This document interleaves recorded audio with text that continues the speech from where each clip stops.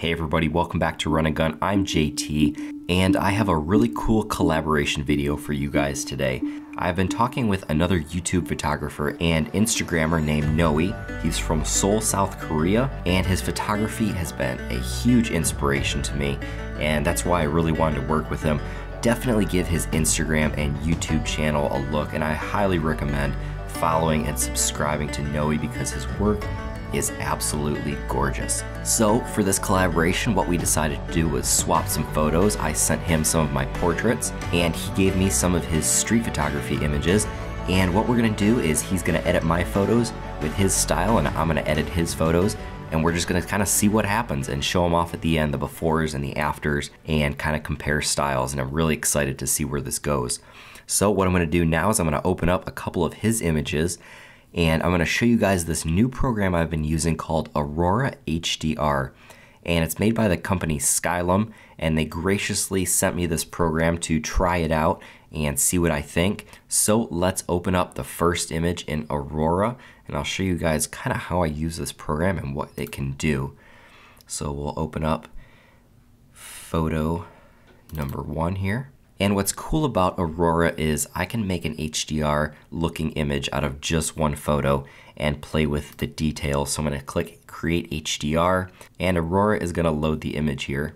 And what's cool is this program actually uses AI, artificial intelligence, to kind of figure out what your scene looks like and makes little minor adjustments based on the individual photo, which I think is really cool. So we have the image here open and on the right you can see some of my adjustments here. It looks a lot like Adobe Camera Raw and Adobe Lightroom. And on the bottom I have the option for different presets that I can use as well.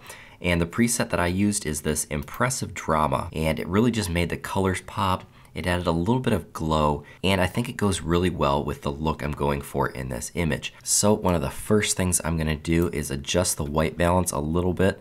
It looks a little greenish from the fluorescent lights. So I'm going to compensate for that, add a little magenta, and it's still a little bit green. Add some more magenta in here. And that's starting to look better.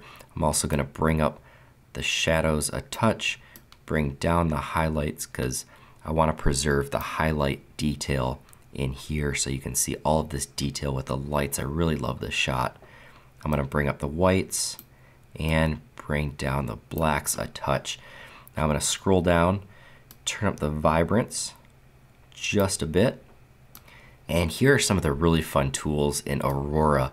This HDR clarity, HDR smart structure. So I'm going to turn up the clarity slightly to about 15, 16.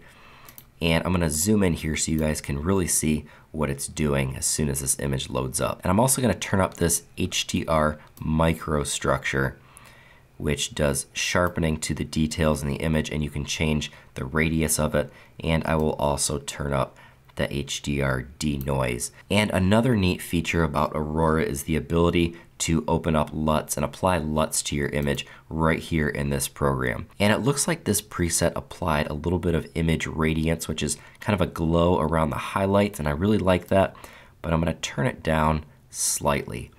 And I think that looks good. Let's take a look at the before and the after. So he shot it about a stop underexposed to preserve the highlight details and then I brought all the detail back in the shadows and we still have all of our details here in the highlights.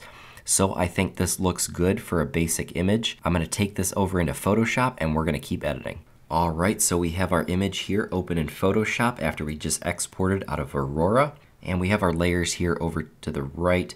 And I'm gonna show you guys what the final image looks like that we're going after. And then I'll break down each of the layers and what they do.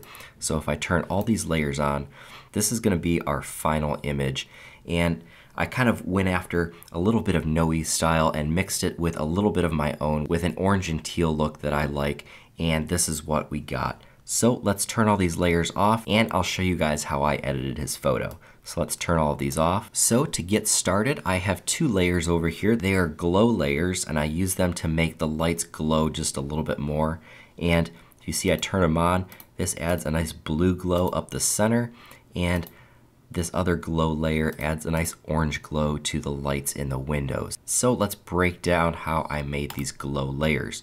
We started with our background layer. I duplicated it by hitting Control J or Command J on a Mac. So next I'm gonna go to Image, Adjustments, and Threshold.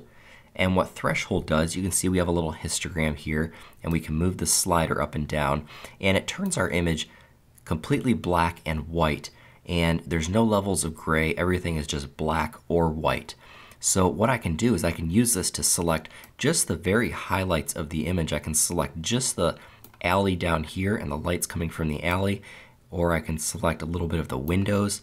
But for both of these, I use kind of the same technique. I selected the highlights of the image by turning up the threshold a bit, click OK, and you can see now I just have the highlights and the very dark portions of the image. And I'm going to go to Filter, Blur, Gaussian Blur. And when that opens up, that provides a nice blur right there. I'm going to turn this up a bit more to get more of a glow. 50 or 60 usually works. It'll depend on the size of the light source in the image and how much of a glow that you want. So we have our glow layer. I'm going to set it to screen and you can see that makes a nice glow right up in the center of the street and some of our windows are glowing here a little bit as well and that looks great. So now I'm just going to colorize this layer by going to hue and saturation or hitting control U or command U on the keyboard. That brings up our hue and saturation. I'm going to click colorize and turn up the saturation quite a bit and play with the hue and I could make this orange if I wanted to, which looks pretty cool. But I'm going for kind of a futuristic look here. So I'm gonna go for a nice blue, turn up that saturation, and hit OK. So this is basically how we made our blue glow layer. The second one we made here is a little bit brighter, and I used the exact same technique when I created our orange layer for the lights, and then I just turned up the brightness a little bit. So we can get rid of this layer, turn our glow layers on. And for our top layer up here, I'm gonna turn this on. This is our gradient or vignette layer. And all I did was go over to the gradient tool. I turned this layer to soft light and I dragged in a vignette by using this gradient tool. And I use this to bring the viewer's eyes from the outside towards the center because I want the center of interest of this image to be right here, right up the middle. This is a nice symmetrical shot and I just want the viewer's eye to kind of gradually come in from the side and look at all this movement that's going on in the center. And lastly, let's take a look at our color correction group here. I have a color lookup table layer here, or a LUT layer, and I have curves. So if we turn both of these on, let's turn off our curves, and for our color lookup table or our LUT, I applied my run and gun cool and lifted LUT, which I'm gonna be bringing back to you guys very soon. I know a lot of people have been asking where it's at and I just finally finished my website and it's gonna go live very soon and I'll have that LUT available for download again. But you can see the huge difference this LUT made. It lifts the shadows, makes the shadows nice and blue, and it brings out the oranges and the blues. And this really has a cool almost kind of Star Wars technology futuristic feel to it. And lastly, we have our curves layer, which crushes our shadows back a little bit, makes our highlights pop, and just makes this a very cool looking futuristic image. So let's open up our curves layer here, and you can see that I crushed the shadows just a little bit. I brought the shadows down, and I brought up the highlights just a touch. So here is the before image before I processed it in Aurora. Here is the image that I exported out of Aurora and here is the final image that I edited. So let's take a look at a couple more images that Noe sent me. So here is the second image. I did the exact same processing I did in Aurora and I imported it the exact same as I did to the last image in Photoshop. And what I did here, you can see I made a nice vignette again using the same gradient technique that I showed you guys in the last photo. I applied my run and gun cool and lifted LUT to make these nice blues pop out and make the oranges pop out and kind of give a nice warm and cool look here. I just love that contrast between warm and cool and it just really draws your eye around the image on top of this being an absolutely awesome photo with all of these neon signs, which I absolutely love.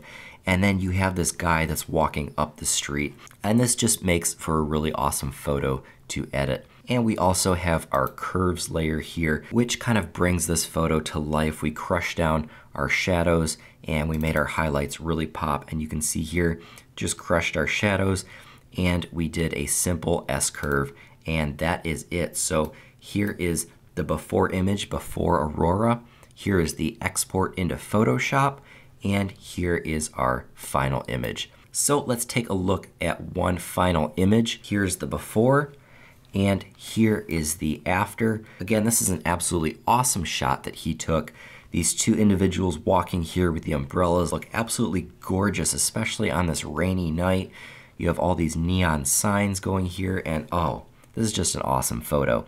So again, I applied my lookup table here, and I applied a similar curves layer where I turned down my shadows. I'm actually going to turn them up a little bit because I want a little bit more of that shadow detail. And I'm going to turn up my highlights just a touch. I've noticed every now and then I'll go back to an image and realize that I want to edit a little bit different. So it's always a good idea to take a step back from your computer every now and then after you've been doing some editing for a couple hours and go back and take a look with a fresh set of eyes. And sometimes you'll see some things that you've missed or you'll have a different perspective on the image. So I think this looks pretty good. Again, all the credit goes to Noe as a photographer. His street photography is absolutely awesome. And if you like his work, make sure you follow his Instagram. And I think you guys might get some enjoyment out of checking out his editing versus my editing. So that's all for this video. I hope you guys enjoyed it and maybe learned a little bit about editing. Be sure to check out Noe's video as well on his YouTube channel. I'll have all of his links down in the description. And before you take off, make sure you hit that like button. Subscribe to both of us if you haven't already.